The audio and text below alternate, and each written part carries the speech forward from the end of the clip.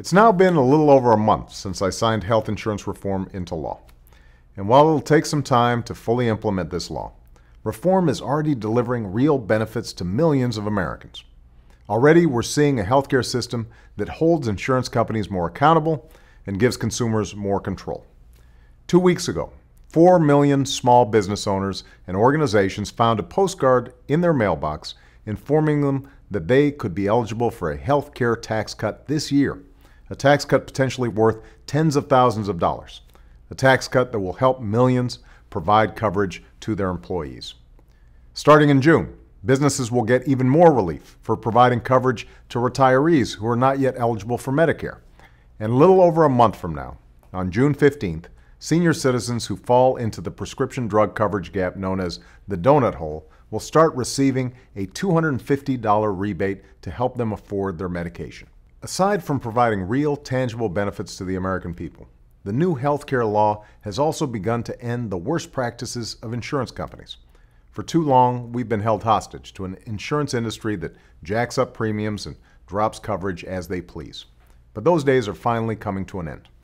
After our administration demanded that Anthem Blue Cross justify a 39% premium increase on Californians, the company admitted the error and backed off its plan.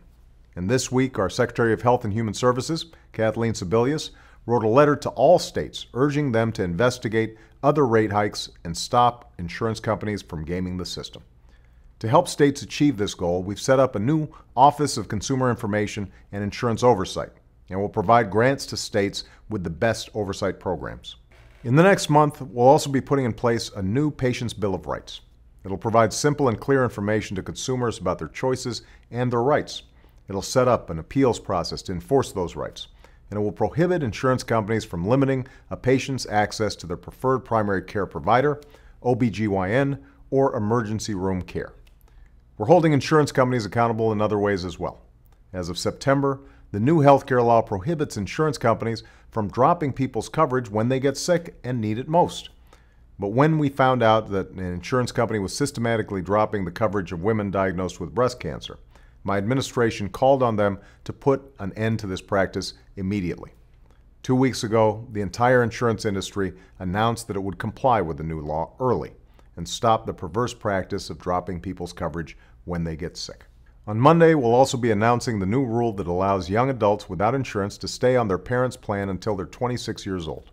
Even though insurance companies have until September to comply with this rule, We've asked them to do so immediately to avoid coverage gaps for new college graduates and other young adults.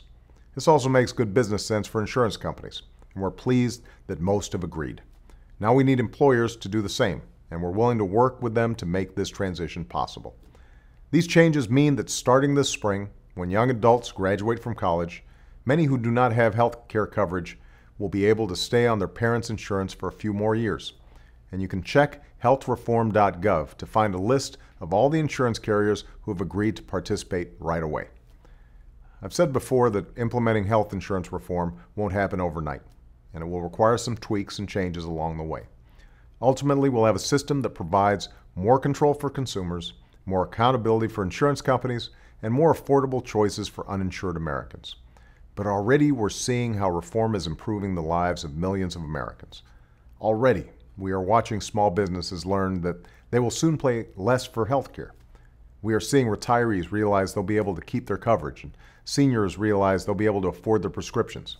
We're seeing consumers get a break from unfair rate hikes, and patients get the care they need when they need it, and young adults getting the security of knowing that they can start off life with one less cost to worry about. At long last, this is what healthcare reform is achieving. This is what change looks like and this is the promise we will keep as we continue to make this law a reality in the months and years to come. Thanks so much.